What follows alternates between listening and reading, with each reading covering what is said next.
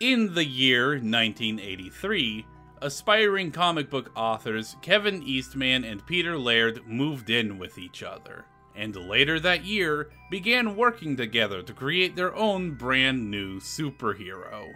And it didn't take long for one of them to come up with something so dumb, so stupid, that it actually might work.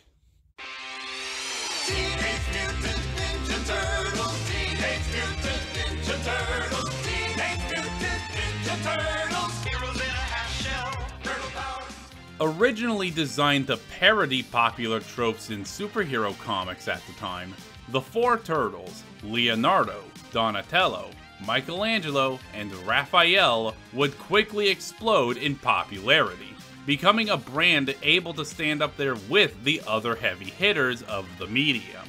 But while they may enjoy the limelight in our world, in their world, these four vigilantes stalk the shadows and prowl the night. Rarely heard and even more rarely seen. They are the saviors that race through the skylines and trudge through the sewers, defending the citizens that would rather shun their existence than accept them as people.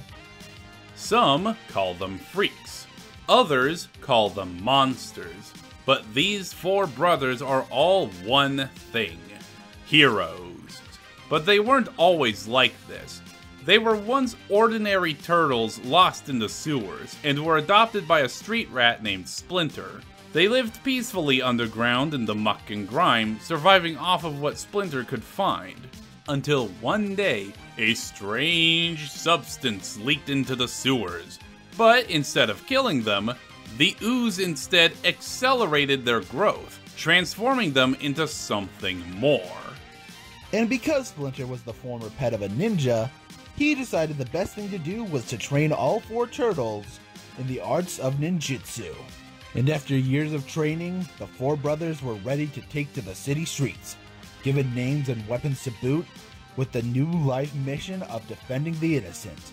No longer were they meager pets lost. They were now Teenage Mutant Ninja Turtles.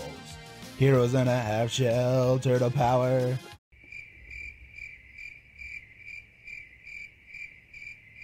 But if you want to know what the world's most fearsome fighting team can do, be sure to check out the full episode when it's released. And be sure to check out their opponents, Team RWBY.